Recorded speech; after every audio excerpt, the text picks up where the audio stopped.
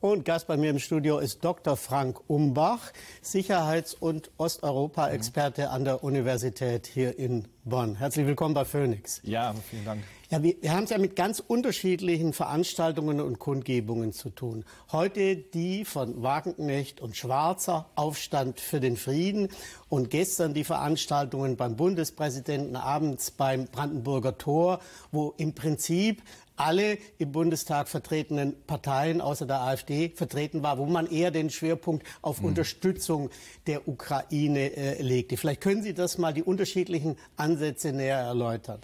Nun, wir haben im Laufe dieses Krieges und mit den Eskalationen verständlicherweise sind die Sorgen um noch größere Eskalationen größer geworden, äh, insbesondere mit Blick, dass äh, Deutschland, die anderen NATO-Staaten in diesen Konflikt hineingezogen werden könnten.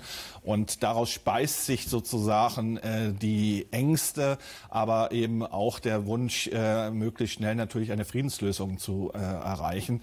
Und äh, ich glaube, das ist zunächst mal der Punkt, äh, der alle einigt, ähm, weil jeder möchte natürlich so schnell wie möglich wirklich diesen Konflikt zu Ende sehen.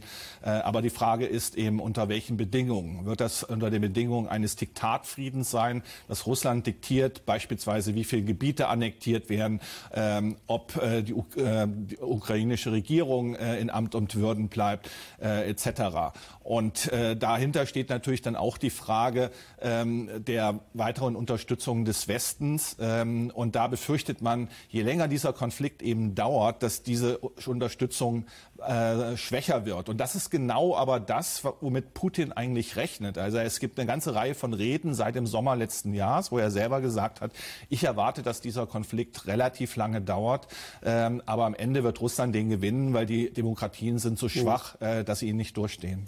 Also wir wollen gleich uns intensiver äh, unterhalten über den Aufstand äh, für den Frieden von Wagenknecht und, und Schwarzer. Aber weil der Vergleich ja, ja so interessant ist, noch mal ein paar Worte zu diesen mhm. Veranstaltungen von gestern, die ja im Prinzip die Tendenz der deutschen Regierung wiedergegeben ja. haben. Da wird ja immer wieder gesagt, Friedensverhandlungen sind jetzt nicht möglich, solange Putin und Russland noch Teile der Ukraine besetzt hält. Heißt das im Ergebnis nicht, dass auf Jahre hinaus vielleicht nie Friedensgespräche möglich sind? Also die entscheidende Frage ist ja nicht, ähm, ob äh, wir jetzt Friedensverhandlungen beginnen oder nicht, sondern äh, diese Frage muss die ukrainische Regierung äh, und das Volk entscheiden. Und wir haben auch Umfragen, dass nicht nur eben die ukrainische Regierung, auch das Volk äh, keinen Diktatfrieden äh, möchte. Äh, sie präferieren, wenn man so will, Freiheit ähm, über äh, einen Diktatfrieden, der nur von Russland entsprechend diktiert mhm. wird. Mhm. Ja, wenn ich, wenn ich dabei einhaken darf. Klar, also wir können der Ukraine nicht vorschreiben, ja. wie sie sich verhält.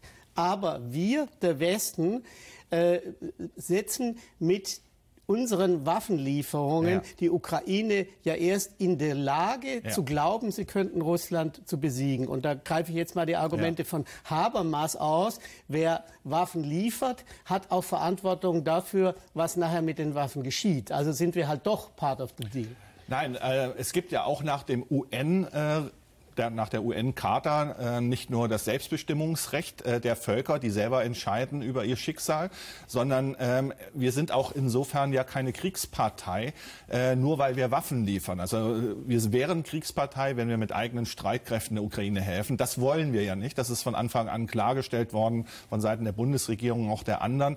Aber äh, wir möchten eben auch äh, der Ukraine helfen, dass sie ihr Schicksal wirklich selbst bestimmen kann. Und das kann sie eben nicht, wenn sie sich nicht wehren kann und sich nur abschlachten lässt. Und wir haben in Butscha ja gesehen, was es bedeutet, ja, wenn beispielsweise ähm, nur ein Gebiet äh, von russischen Streitkräften besetzt wird, wo fürchterliche Massaker an äh, den Zivilisten ja begangen worden sind. Und wir haben eine Verantwortung nicht nur für das, was wir tun, beispielsweise Waffenlieferungen und sonstige Hilfe, sondern wir haben ja auch eine Verantwortung in dem Fall für das, was wir nicht tun. Und das ist auch eine Erfahrung, die wir in den Jugoslawienkriegen gemacht haben, als wir nichts getan haben und es dann äh, zu diesen Völkerrechtsmorden gekommen ist.